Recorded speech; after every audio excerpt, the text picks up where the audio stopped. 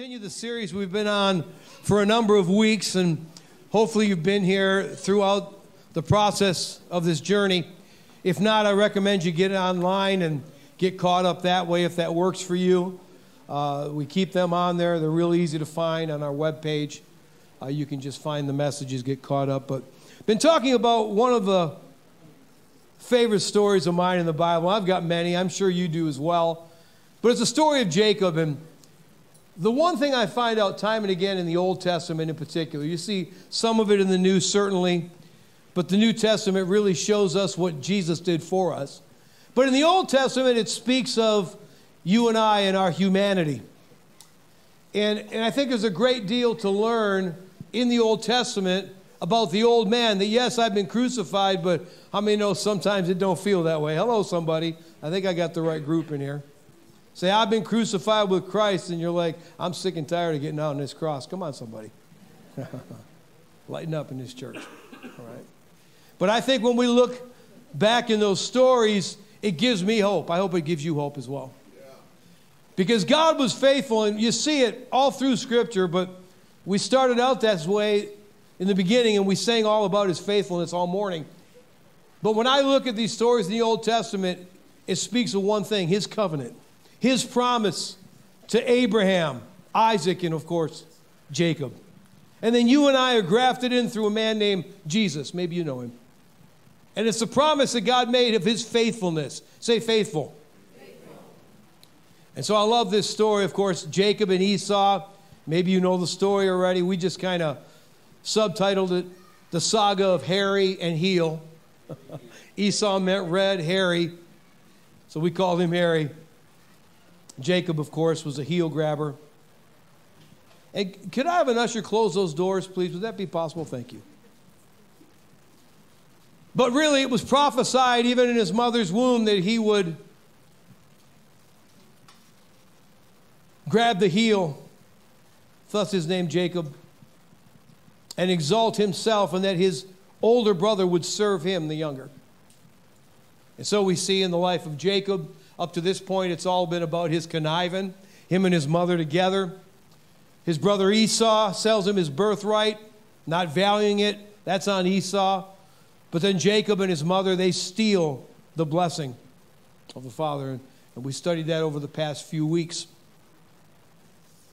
And as you can imagine, Esau, because of that act, it says this in Genesis 27 so Esau hated Jacob because of the blessing with which his father blessed him. And Esau said in his heart, The days of mourning for my father are at hand, then I will kill my brother. Jacob. This is kind of where we left. Jacob has to leave, becomes an exile of his own family. And on his journey, something happens. Perhaps you know the story. It's referred to as Jacob's ladder. Let's read Genesis 28. So Isaac sent Jacob away, and he went to Padan Aram to Laban, the son of Bethuel the Syrian, the brother of Rebekah, the mother of Jacob and Esau. So he came to a certain place and stayed there all night because the sun had set. And he took one of those stones that, of that place and he put it on his head and he lay down in the place to sleep. Of course, here we see in our story that there's a ladder that extends from earth to heaven, angels moving back and forth back and forth. But the highlight of this story, make no mistake, is not the angels, it's Yahweh himself who appears to Jacob in this time when he's finally asleep, not conniving, not making things happen in his own strength. And here's Jacob. We've looked at him. His character is not the greatest. He's stolen from his brother, has to move and Yahweh shows up in many translations, and I believe to be true, says Yahweh was not way up there detached, but he was beside Jacob. He was there in the now. And because of Jacob's past, you would sure think that God was going to give him a scolding. It's like, what do you think you were doing? But you know that's not what God does. That's not what God does. And we left this last week. I just want to catch you up. And behold, the Lord stood above it or beside and said, I am the God of Abraham. Somebody say, I. Your father and the God of Isaac. The land on which you lie, I. Somebody say, I. Will give you to you and your descendants also. Your descendants shall be the dust as the dust of the earth. You shall spread abroad to the west and the east, to the north and the south, and in you and in your seed all the families of the earth shall be blessed. Behold, I, come on, somebody say, I, I am with you. I will keep you wherever you go, and I will bring you back to this land. For I, come on, will not leave you until I have done what I have spoken to you. And perhaps you're in a place today and you feel you deserve discipline. And certainly, discipline is required in our lives, and the Lord is, but He disciplines like none other. And I think many times people who try to teach us about discipline of the Lord really don't understand Him very well. He can correct like no other with compassion and love. But the thing I've always noticed about God, not only in the stories in the Old Testament, but in my own life, once I finally got it, and I'm still on a journey, I haven't arrived. I should say, once I finally getting it, is that God always reminds me not of my difficulty, not of my shortcoming, not of my sin. And we all need forgiveness. How many know that? But God will always remind me of His promises. His promises.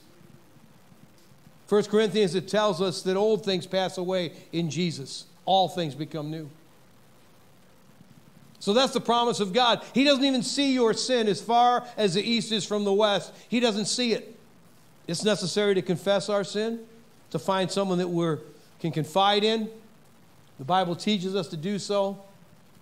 God forgives us the minute we ask of all our sins, past, present, future. I know that sounds amazing. Some people may disagree with that, but I believe it to be true. Confession is still good, keeps our hearts right, keeps us on track, because how many know we live in this flesh and blood vessel and it's a mess? All right? And it's our biggest enemy, if you will.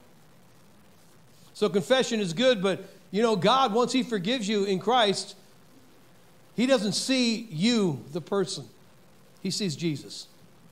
He sees His promise to a lost world God so loved the world that he what gave his only begotten son that whosoever would call on the name of the Lord would be saved.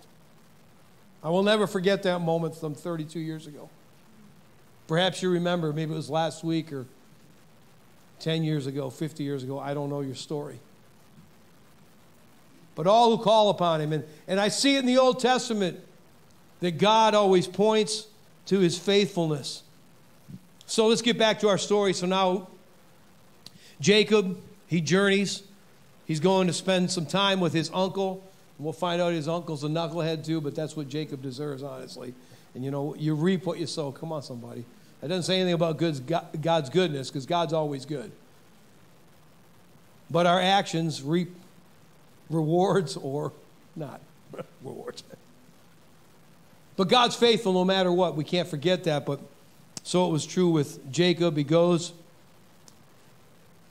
as his mother and father instructed him, to look for a wife from the house of Laban. And let's read on in verse 10 of 29. And it came to pass when Jacob saw Rachel, the daughter of Laban, his mother's brother, and the sheep of Laban, his mother's brother, that Jacob went near and rolled the stone from the well's mouth and watered the flock of Laban, his mother's brother. Then Jacob kissed Rachel and lifted up his voice and wept. Now, you, first service, I got a chuckle so I'll try it again, as I really don't know how he wept. But I imagine he kisses Rachel and he goes, ah! Is that better than first? I don't know. It says he cried aloud. I don't think it was, maybe, but I think it goes, ah! and I think for the first time in our story, I think you'll find this to be true. It's as if Jacob actually has some feel. Can you imagine that, Patty? Feelings. Talking about myself, not you. Patty and I have this relationship. We love Pastor Bob so much. No, and we, and we, and, and they're one in him. So no, you know, no, we really do. They're great friends of ours. Great friends of ours. But the truth is, this story is the first time that we see Jacob actually has feelings. All through the story up to this point, he doesn't care, he doesn't rip about anybody except himself. And here it's almost as if he's like, finally, I have something that's mine.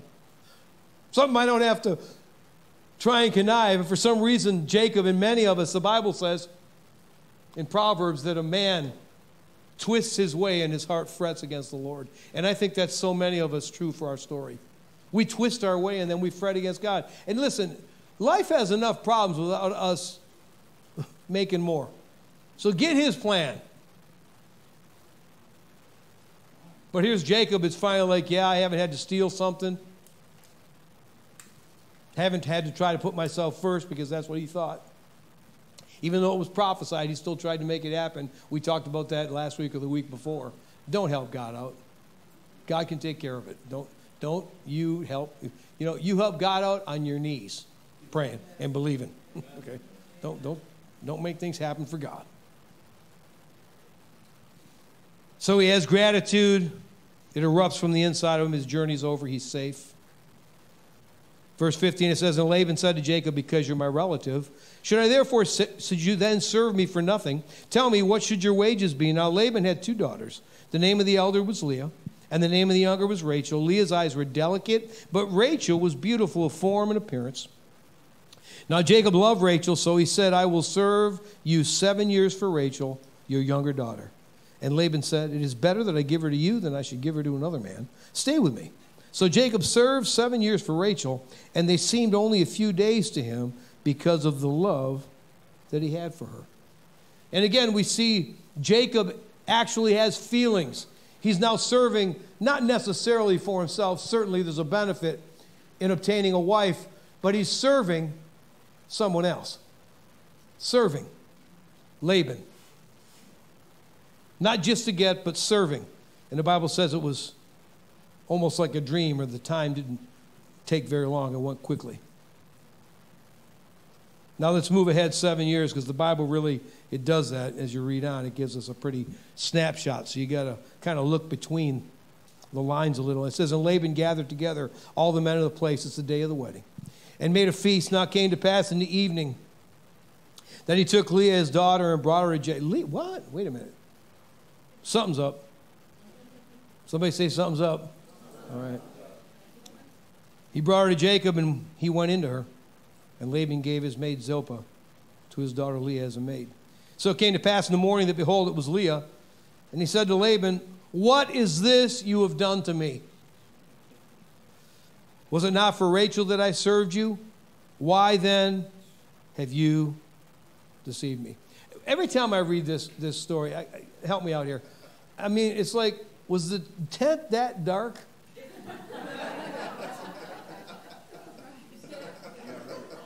He served seven years for the woman of his dreams. And he didn't. How much did he drink at that wedding?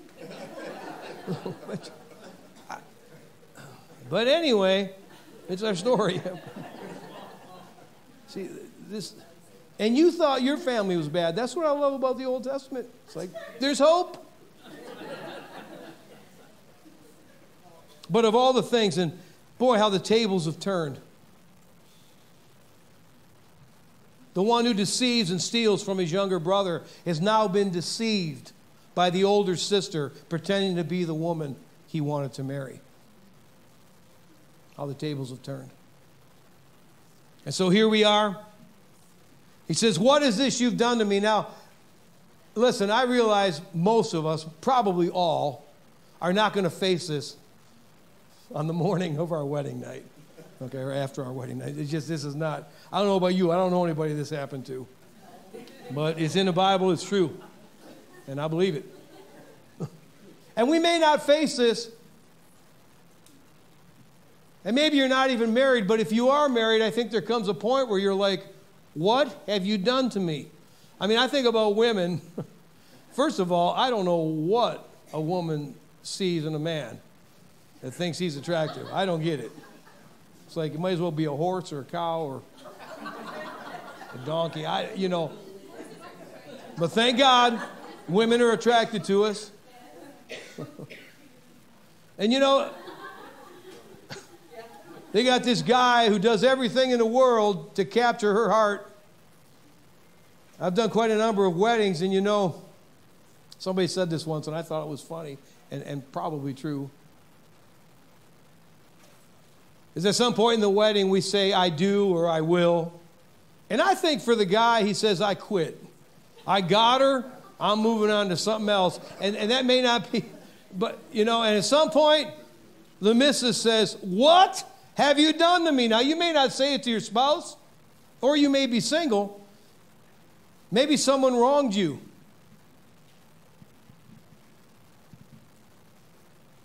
Maybe you say it to God, What have you done to me? If you haven't had one of those moments in life where you said to God, What is this? What have you done? You haven't lived long enough.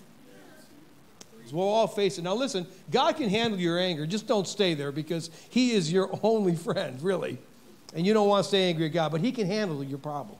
He can handle your pain and frustration. Better to take it to Him than take it out on somebody else. Come on, somebody, help me out. Or maybe yourself. Maybe you look at yourself and you say, What have I done to me? I know I've had my bouts with this. Maybe you have. Get up in the morning, brush my teeth, shave my head, look in the mirror and say, What have you done with your life? You ever been there? And you know, sometimes we can be our greatest enemy. I already said that. Some of the things we think about ourselves, can we be real this morning? Some of the things we say about our mistakes, our shortcomings, and we hate ourselves. And whether you're single or married, let me assure you of something Jesus made it pretty simple. Man wanted to be his disciple. He comes trying to prove himself to the rabbi. He says, What's the greatest commandment of all? Jesus said, Love the Lord your God with all your heart, soul, and mind, and love your brother as yourself. If you do this, you'll keep all the commandments. Think about that. First of all, you got to love God. Secondly, you need to love other people, and in the process, God will teach you how to love yourself. But if you don't love yourself, you won't be able to love others, and you won't love God. In fact, in the book of uh, John's epistle, it says that when you say you love God who you don't see, but don't love man who you do see, that you're a liar. I know I've had people say, I don't need the church. I don't need the church. You know, we're, just, we're fine on our own. Just me and Jesus. No, you're not fine. You're hurt. You're wounded. You don't want to be around people because the pain. Come on, let's be real. But that's what being a disciple is all about fleshing it out. Learn how to love other people. My goodness, people try to love you. Least you can do is get on this bandwagon. Say, this is so love, so hard to love. Have you looked at your life? Oh, I'm easy to love. Oh, okay. We'll find out when you get married, if you do, how easy you are. See, now my wife Trish is easy to love. I got to say that. It's amazing. It really is. Not as easy to love as I am because I just I get along with everybody but she's close second. what is this you've done to me? Let's talk about marriage for a moment. I know some of us are single. Let me just ask you this How many are married or even were married? Maybe you're divorced because, you know, God loves you, okay? Being divorced isn't, doesn't, is not the unforgivable sin. But you've either been married, are married, or want to be married. Lift your hand. It's most of us. Some of you sitting with a couple, it's, it's, I say, Do you want to be married? And you're like, No, no, hey, don't lift your hand if I say that. No. But the truth is, some of us may not be. But let's just look at marriage, because many people do get married. And I believe that God is saying, I am giving you this co sinner. Someone that I can work out my salvation in your life through. And you're like, thanks, Pastor. Now, that may not be on a Hallmark card, but it's true. Is I really think that marriage and life in general, but marriage, just to speak to husbands and wives for a moment, that's what sacrificial love is all about. Sometimes we think, well, you know, once I get married, all my problems go away. Oh, you mean just like Jacob's did? oh, his problems are just starting. We gotta, we're going to get a little ways this morning. It's a mess, y'all. It's a mess. And you don't need to explain how great marriage is when you're on cloud nine of wedded bliss. But after about the first two years, come on, let's, let's be honest. You're like, what have you done to me? You got work. Somebody say work. Love is work. Love is a choice. And you know, you've heard it. It's not a, well, you know, I'm just not in love with them anymore. Well, you better turn yourself around because you said, I do. Well, I, we just don't have what we had before. I know. But if you start to love, you can make it better than it used to be. Come on, somebody ought to shout. You've been married a while, you know it's true. It can be better. Or maybe you went through a divorce. Look, I understand, it's hard. And I like these messy families because, you know, Trish and I, we both come from divorced homes. I've been divorced. Both of us have dealt with addiction of some type as well as abuse verbal, physical. I don't know what your story is, but life is rough. But God is good. God is good. So, not all of marriage or life, for that matter, is dessert. Sometimes it's the things we need to eat that we don't like that are the healthiest for us. And the truth is, we've inherited this birth defect from Adam and Eve. I don't do this often, but I thought this was a great word. You're going to hear me speak Latin. You can say, Our pastor spoke Latin in church today, and you can feel, go impress your friends. Okay. The Latin name is this Incurvatus in se. Doesn't that sound good? Incurvatus in se. This is what it means curved in on oneself. so, what does that mean, Pastor? Try to make a toddler do what he don't want to do. That's incurvatus in se. I want what I want when I want it. And even though it's not a learned, something like that. Incurvatus in se. There you go. And even though we don't have to learn it, some of us are pretty good at continuing to get pretty much better at it. Oh, we may not throw ourselves on the ground. We may not stomp and kick on the outside. But make no mistake about it, we want our way. We want what we want when we want it. And it's hard to love. In fact, it's hard to exist in life, let alone marriage, when we want everything our way. And we will end up damaging ourselves as well as others. And 1 Corinthians, I know you've read this, it's pretty common at, at weddings. And I realize it's speaking of God's love, but listen, this is for all of us. Understand the context. Paul the Apostle is teaching on spiritual gifts. And right between chapter 12 and 14, if you will, he says there's a better way. Don't lean on the gift. Oh, embrace the gifts, and we do. All of them healing, miracles, signs, and wonders. But right in the middle, he says, I'll show you a better way. And look what he writes Love suffers long and is kind. Love does not envy. Love does not parade itself, it's not puffed up, does not behave rudely, does not seek its own. It's not just in marriage, this is life. It's not provoked, thinks no evil. Oh, awful silent in here. Does not rejoice in iniquity you just love it when you get the dirt on somebody else. Come on. Let's move on. But rejoices in the truth. Oh, they finally got theirs. I, have heard people scream at the top of their lungs, I want truth. No, you want to fight. You don't want truth. You want your truth. Bears all things. How about that? Believes all things, hopes all things, endures all things. Love never fails. He says, well, there's prophecies, they'll fail. Every spiritual gift will fail, but he says, love never fails.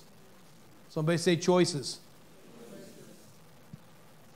These are the choices we get to make in life. Choose love. Choose to love others. In marriage, it's certainly true. Letting the other people see your faults. Oh my goodness. But you know, whether married or single, life has valleys, places where we cry out, why? What the? Or here's, here's, here's a common one how long? I love the way love suffers long. Well, how long is long enough? Longer than you've been suffering.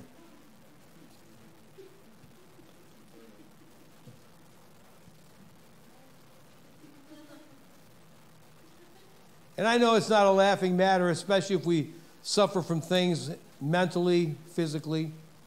But you know, we just got to not give up on God, no matter what. But certainly in relationships, suffering long with one another. Why? What? How long? 1 Peter 4 says, Above all things, have fervent love for one another, not just in marriage. For love will cover a multitude of sins. Be hospitable to one another without grumbling. As each one has received a gift, minister to one another as good stewards of the manifold grace of God. We minister to one another through what? Love. Love serves. Love serves. Jesus said, Greater love has no man than lay down his life for his friends. So Jesus was an example. If you want to know what love is, Father, forgive them. They know not what they do. It's hard to put ourselves on a cross. I mean, we all want to put everybody else up there. Come on. Get them. That's not, what love does. I just had something ever since worship started. I'm like, do I share it? Do I share it? Um, I'm not going to read the scripture, but it's Luke 7, I believe it's verse 47. And in this chapter, it was talking about the woman who was an adulterous woman. And Jesus was in a house meeting with people, and the whole time she's just on the ground before him at her feet and just washing his feet with her tears and her hair. And um, just, you know, that is an act of love, an act of worship, an act of what someone would look at like, what's wrong with this person? They look foolish. Why are they doing this? You know, and and it just really hit me when Jesus said, you know, her sins, which were many, are forgiven. You know, he said to the host of the house, when, when I came in, you didn't even offer me a drink. But here she sat at my feet, washing my feet with her tears, just serving him, looking foolish, but she didn't care. And he said, Go, your sins are forgiven.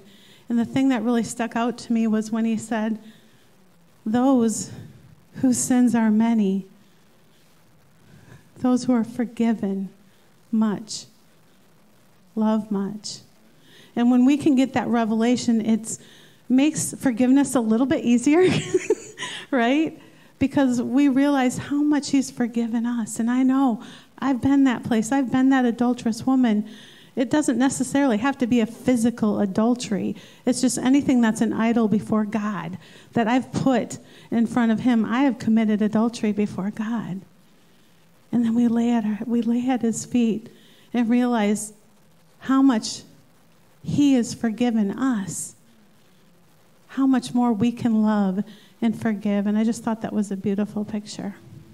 Thank you. That's awesome. How many know our story? This was kind of unplanned, unwanted, but it's the unplanned, unwanted things in life where I think God does his greatest work. I mean, really. I don't know what your unplanned or unwanted thing is in your life, and it's probably not fun, but I know that it's a place that God can show himself faithful. In marriage, let me just say this you did not marry the wrong person. Stay married work on it. So I think about this story. If it wasn't for Leah, and certainly Jacob had not planned on marrying her, then Leah never would have given birth to Judah. If Judah hadn't been born, there'd be no tribe of Judah. Come on, somebody. If there hadn't been any tribe of Judah, we wouldn't have had Boaz, we wouldn't have had Jesse, we wouldn't have had David, we wouldn't have had a young virgin girl named Mary who gave birth to the hope of the world. In these unplanned things, again, I don't know what your unplanned or unwanted thing is. God can work a great thing. Why? He's faithful. He is faithful. Don't give up. Don't quit. In fact, I think that if Jacob would have known what God was up to and what he would do through Leah's life and his marriage to Leah, not to mention Rachel as well, but we'll get there in a minute. Say weird. The story's weird, man. It's weird. Okay. But I think if he would have known rather than leap for joy and weep for joy. Ah, remember that back in the day. For Rachel, I think he would have looked at Leah and went, woohoo, because of what God did. Because it was through her lineage that Jesus, the hope of the world, was born. So, somebody say weird. And Laban said, It must not be done in our country to give younger before the firstborn. Fulfill her week and we will give you this one also for the service which you will serve with me yet another seven years. Oh my. Then Jacob did so and fulfilled her week. He gave his daughter Rachel, his wife also, and Laban gave his maid Bilhah and to his daughter Rachel as a maid. Somebody say weird. So he served seven years for the wife he didn't want, seven years for the wife he does want, and he gets a maid or two thrown in. The story's it's weird. It's amazing what God will accomplish through flesh and blood if we'll let Him. And in this story, I think the Old Testament, and I mentioned up front, I love the Old Testament for this reason. It is full of gross unholiness. Say, well, that's weird. No, it, it, show, it God is faithful in a bunch of weird stuff. I mean, you think about it. We have brothers murdering brothers, Cain and Abel, we already talked about that way back in the beginning. We have brothers deceiving another brother, selling him into slavery. Joseph, you may know the story. We got Noah, all right? Remember Noah in the ark? After the flood, he's so drunk, he's laying naked in the floor of his tent. It is weird.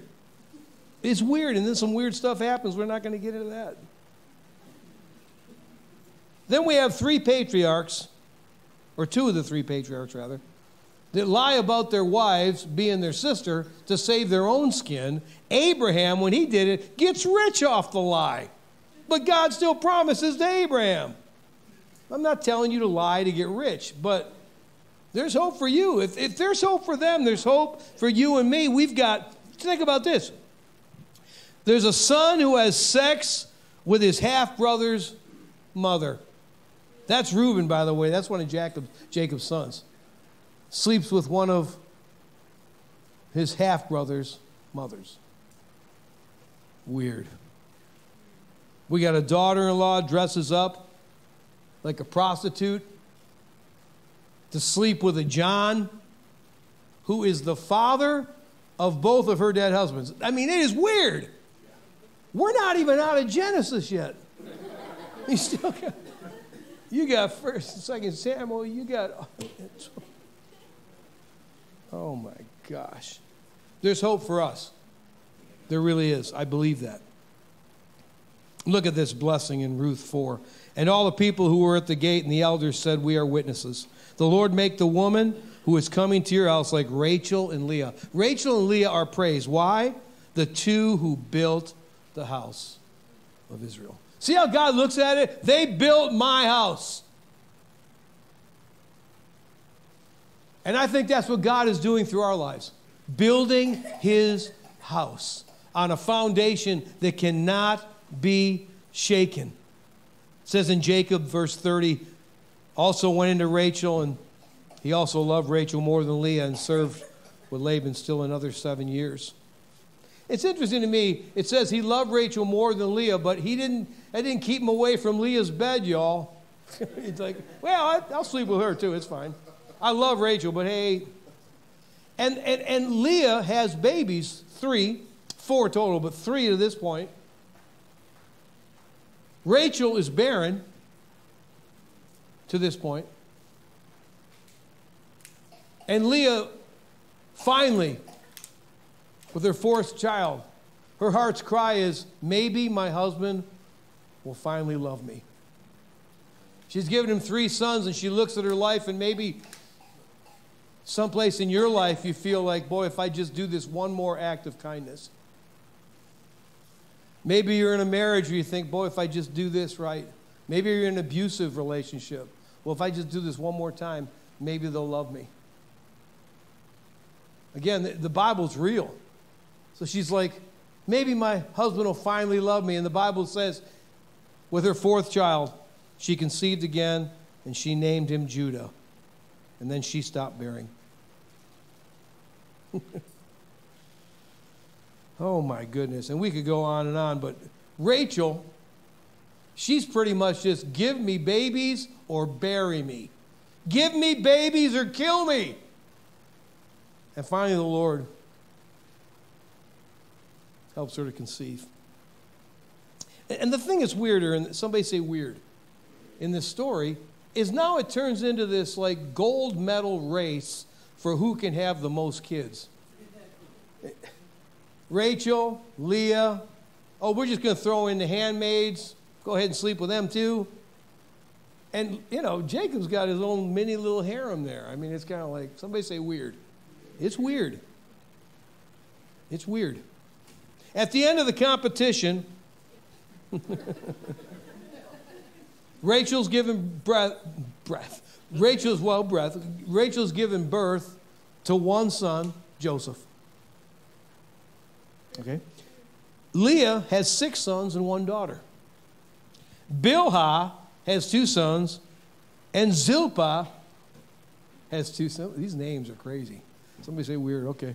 Has two sons.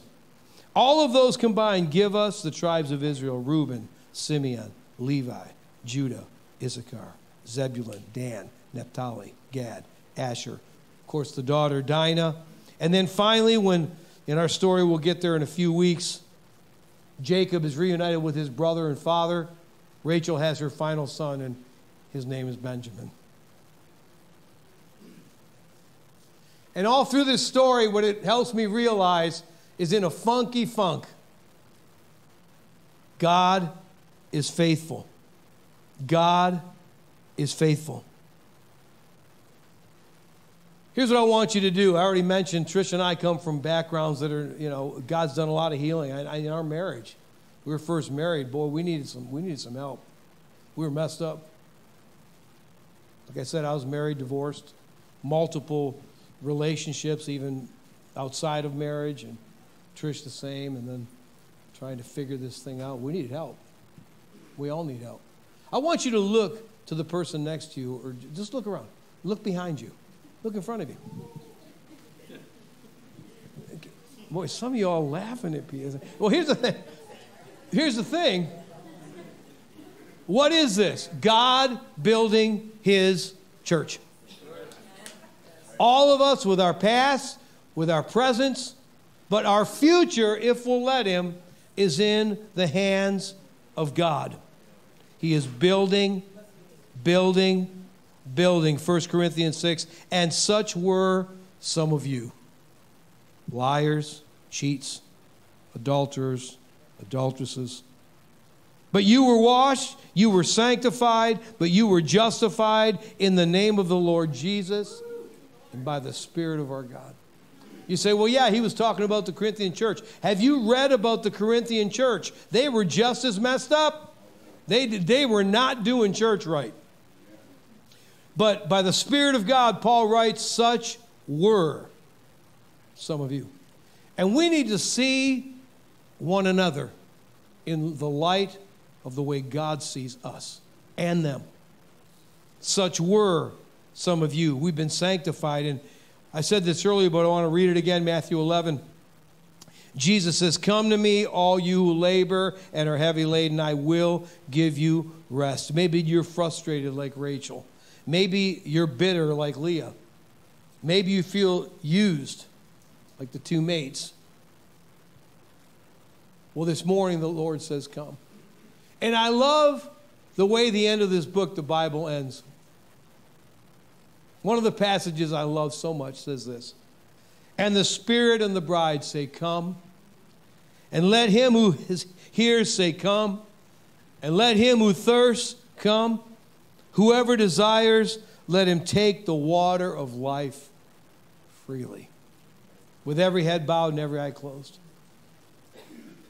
Would you come and drink this morning? Maybe God needs to work in your marriage. Maybe you haven't seen his promises come to pass yet. That's hard. But God's faithful. Some of us today, we got to forgive God. We've got to forgive ourselves. Most of us, probably all, have to forgive somebody else along the way. But here's the thing if we don't forgive other people, it hinders our growth. Oh, we're still forgiven. God still loves us. God still sees us in light of Jesus, but it affects our relationships and our lives from here forward. Forgiveness will cover a multitude of sin. Love will cover a multitude of sin. So just pray this with me. You think about your situation. Maybe it's yourself, maybe it's God, maybe it's another. Say, God, today I choose forgiveness. I choose love. I will love you with all my heart, all my soul, and I will love my brother and myself. In Jesus' name, amen. Amen. Now look this way. If you need further prayer, our prayer team is here. If you want to know what it means, listen, to accept Christ as your Savior, our prayer team can help you with that. Praying a prayer is part of it. Going to church is good, but it's not about being a member of this church or any church for that matter. When you say yes to Jesus, you're part of the church. But there's some things we want you to know about salvation. And so if you want to know about Jesus, you want to make him Lord of your life, or maybe you've been away from him and you want to come back, please come forward. We've got information we'll share with you. We'll pray with you. If you need prayer for anything else, please come forward as well. One other thing, quick, and then we'll dismiss. In a couple of weeks, August 13th, is our family church picnic. Every year we do it, it's so much fun. We need to know how much food to prepare, so sign up online.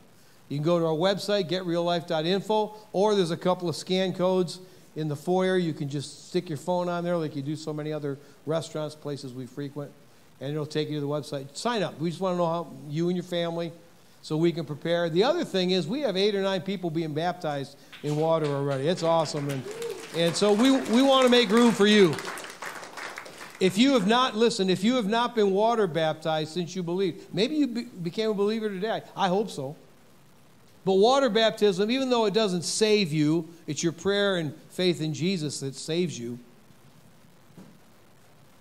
Baptism is an act of obedience.